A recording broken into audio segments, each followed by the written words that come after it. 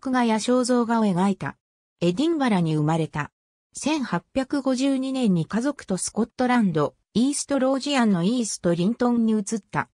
父親は美術の道に進むことに反対したが、描いてみせた村の若者トロバーの絵は、絵の才能を父親に納得させた。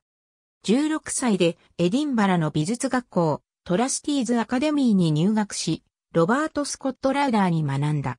同時期の学生には、ウィリアム・オーチャードソンやジョン・マクアーター、ウィリアム・マクタガーとジョージ・チャルマーズらがいた。1858年に、王立スコットランドアカデミーの展覧会に、スコットランドの小説家、ウォルター・スコットの小説の場面を描いた絵と2点の肖像画を出展した。ウォルター・スコットの小説の場面はその後も何度も描くことになった。1859年にも王立スコットランドアカデミーの展覧会に出展し、1860年にはロンドンのロイヤルアカデミー・オブ・アーツの展覧会に出展し、翌年、ロンドンに移り、オーチャードソンと共同でスタジオを開いた。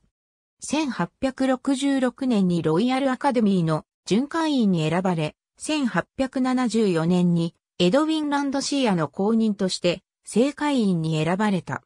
熱心なアマチュア音楽家でもあり、若いスコットランドの作曲家、ヘイミッシュ・マッカンを自らのスタジオでコンサートを開くなどして支援した。ペティの娘はマッカンと結婚した。ありがとうございます。